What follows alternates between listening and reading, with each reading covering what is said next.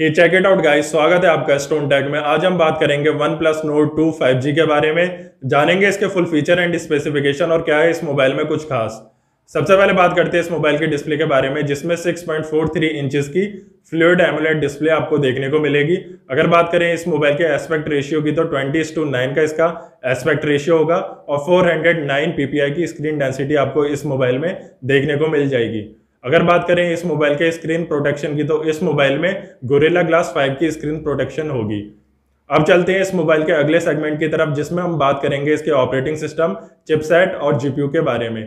सबसे पहले बात करते हैं इस मोबाइल के ऑपरेटिंग सिस्टम की तो इस मोबाइल में एंड्रॉयड 11 का ऑपरेटिंग सिस्टम आपको देखने को मिलेगा। चिपसेट मीडियाटेक डायमेंसिटी 1200 5G होगा। और अगर बात करें इस मोबाइल के जीपीयू की तो इस मोबाइल में माली जी सेवेंटी सेवन का जीपीयू आपको देखने को मिल जाएगा। अब बात करते हैं इस मोबाइल के मेन कैमरे की, जिसमें 58 और 2 मेगापिक्सल का एक ट्रिपल कैमरा आपको देखने को मिलेगा। कैमरा फीचर में एचडीआर का फीचर भी होगा। अगर बात करें मेन कैमरे की वीडियो क्वालिटी की तो आप इस मोबाइल से 4K और 1080p में अच्छी क्वालिटी की फ़ोटोज़ और वीडियो शूट कर सकते हैं। अगर बात करें इस मोबाइल के फ्रंट कैमरे की तो इस मोबाइल में 32 मेगापिक्सल का एक सेल्फी कैमरा होगा और सेल्फी कैमरे की वीडियो क्वालिटी 1080p होगी।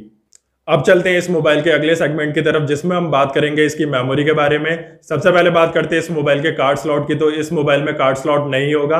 Internal memory one hundred twenty eight GB two hundred fifty six GB के वेरिएंट में होगी।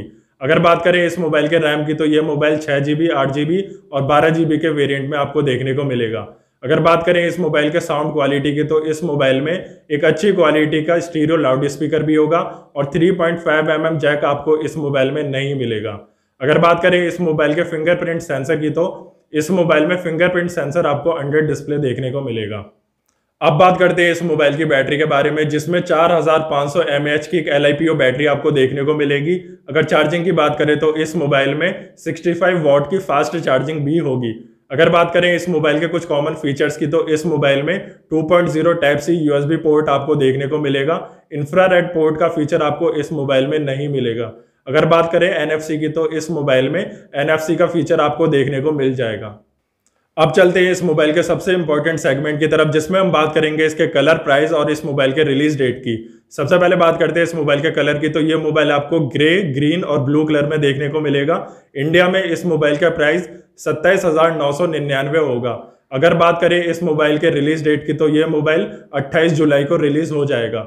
अगर आपको वीडियो अच्छा लगा हो तो वीडियो को लाइक, शेयर ज़रूर करना और चैनल को सब्सक्राइब करके बेल नोटिफिकेशन को भी ऑन कर लेना।